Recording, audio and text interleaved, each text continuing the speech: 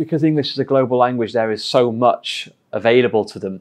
But I think sometimes students don't know. I mean, they can watch movies, they can listen to music, but I don't think sometimes they know how to exploit this and how to get the most out of this. So I think one thing you can do is to is to encourage them to to learn from films by by writing down words that are new for them, for practicing them, uh, for for going to a movie, watching it in English, and then talking about it in English. Um, real English communication is crucial. So um, if students here have come from a range of different countries and they go watch a movie together, for example, and they talk about it in English, that's great.